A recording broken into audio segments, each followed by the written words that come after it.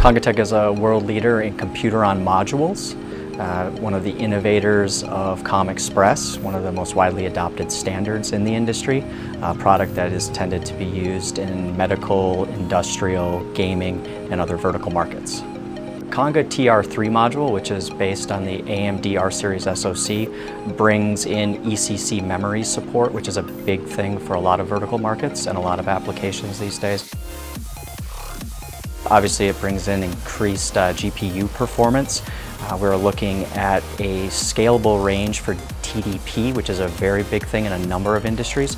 Uh, it allows us to put a high-end processor into a often small environment, a small case or a limited fanless type device. So we're now getting high-end processing into areas that we never could before. So this is Congatec's Conga TR3 module based on AMD's R-Series SoC. So it's a COM Express module, 125 millimeters by 95 millimeters. It uses two high-speed uh, board-to-board connectors on the back side of the module to mate to a carrier board, which is a secondary board that typically customers will uh, develop that has their own proprietary footprint and I.O. scheme.